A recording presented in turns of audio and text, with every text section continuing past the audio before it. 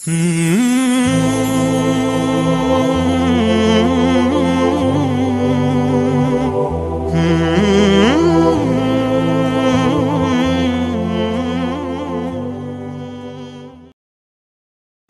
alaikum, brothers and sisters. Welcome all to the second episode in the series Basics of Islam. In today's episode, we're going to learn the basic movements of Salah, or prayers as known in Arabic. It helps to know why do we pray, who do you pray to, and the benefits of the prayer. There's many benefits, of course, spiritually and as well as physically, some will tell you. But the core of prayer is to remember and to thank God.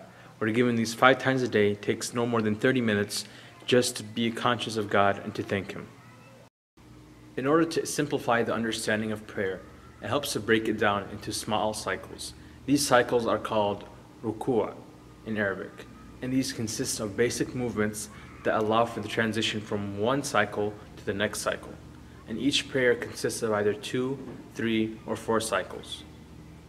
The first motion in prayer involves bringing the hands together from the upright position and saying Allahu Akbar, or God is great, and this is the beginning of the prayer.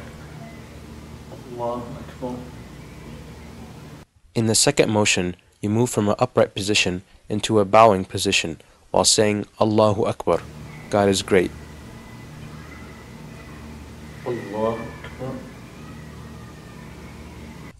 In the third motion, we return into an upright position while saying Sami Allahu liman hamida, or God hears all who praises him. Sami Allah. In the fourth motion of the cycle, we move from an upright position down into prostration, saying Allahu Akbar, or God is great. Allah.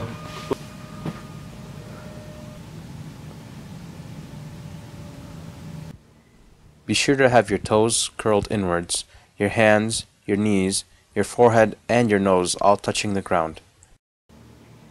In the fifth motion of the cycle, we move up from prostration to rest on our knees, saying again, Allahu Akbar, or God is great. In the sixth motion of the cycle, we return again into the prostrating position. Allah.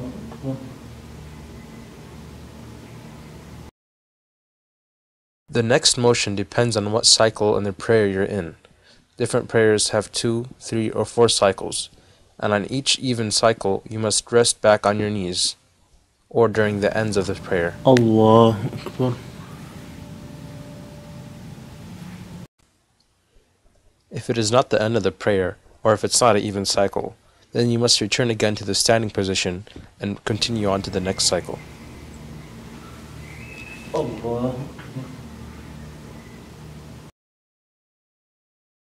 When you have completed all your cycles and you are now ready to finish prayer on your final cycle, stay resting on your knees, and after completing supplication, turn your head to the right, saying Assalamu alaikum wa rahmatullah, and then to the left, saying again Assalamu alaikum wa rahmatullah, meaning peace and blessings of God be upon you. Allah. Akbar.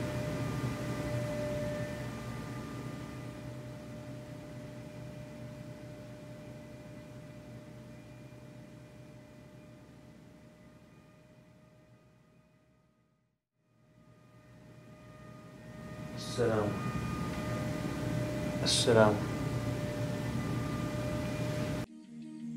Assalamu alaikum brothers and sisters. I hope you found this video to be very beneficial. This is again just the core basics of prayer.